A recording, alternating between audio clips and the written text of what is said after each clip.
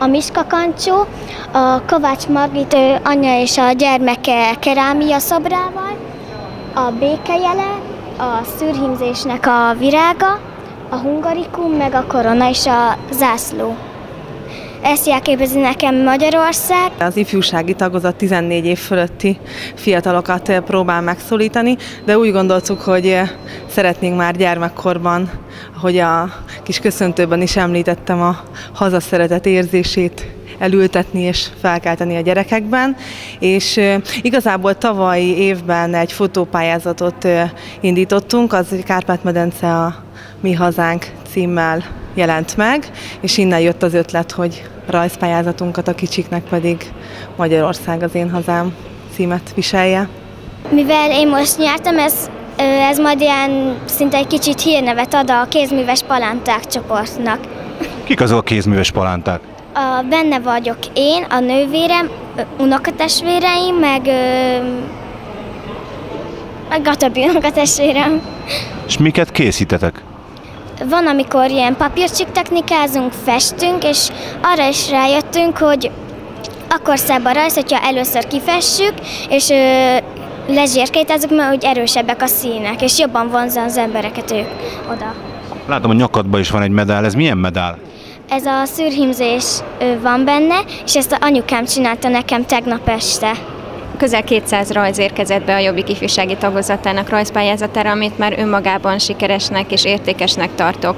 Azt hiszem, ha valaki végignéz ezeken az alkotásokon, már boldogság járja át a szívét, hiszen minden gyermekről rögtön kiderül az, hogy milyen tehetséges, és nem csak a rajzban tehetséges, hanem megadatik nekik az is, hogy már ennyi idősen a saját magyarságukat meg tudják élni, a nemzetes tartozásukat ki tudják fejezni.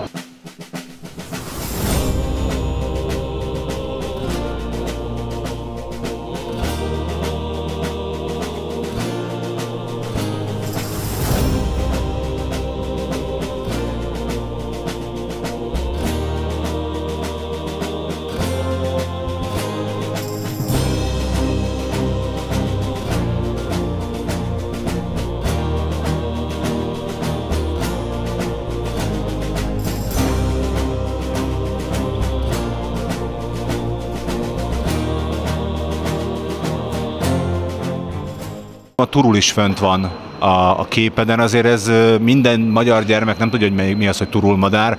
Ezt kiktől hallottad, hogyan, hogyan ismerted meg a turulnak a szimbólumát? Hát any, anya, anyukám mesélte, meg sokat mesélt róla, amikor kicsi voltam. Mit ábrázol pontosan ez a kép? Mit rákentek a századok, lemossuk a gyalázatot rovásírással, és igazából azt ábrázolja, hogy a jövő a fiatalok kezében van és, és a, az ihlet a legjobb barátnőm kis testvérétől jött. És, hogy, hogy? Hát mit mondott, hogy ez jutott eszedbe, hogy ezt a rajzot megrajzolt? Hát amikor meghallottam a címet, akkor rögtön rágondoltam, hogy egy nagyon szép kislány, és hogy őt le, lerajzolhatnám, és hogy így jött. Látom, hogy a történelmi Nagy Magyarországot hát nem tartja, de a keze fölött lebeg a kislánynak. Ezzel mit üzennél a kép szemlélőinek? Hát, hogy remélem, hogy visszaszerezzük majd.